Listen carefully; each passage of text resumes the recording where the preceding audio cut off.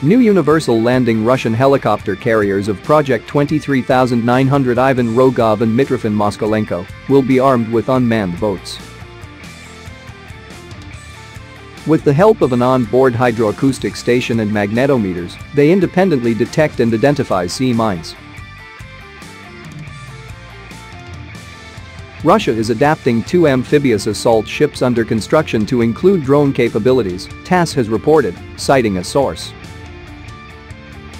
The outlet added that the Project 23,900 vessels Ivan Rogov and Mitrofan Moskalenko will be modified to carry a certain number of strike and reconnaissance rotary wing drones along with helicopters. According to the outlet, the addition of unmanned platforms to the vessel's deck will boost the chopper's combat capabilities. The drones will be capable of effectively providing fire support for an amphibious assault force, reporting on the tactical environment in the area of its landing, and in the course of special operations, ferreting out and, if necessary, eliminating stealth watercraft.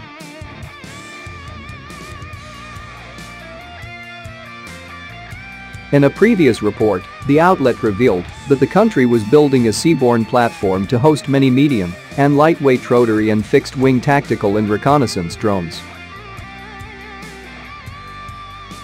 It's not clear whether the platform is either of the two Project 23900 vessels. According to the report, developers are working to ensure that the platform provides sufficient protection for the drone's onboard electronics from the aggressive maritime environment and retain the accuracy of instruments for deck landing. The source added that developers are also working on repairing a crash-landed aircraft. The platform will have a pneumatic catapult to launch fixed-wing unmanned aircraft.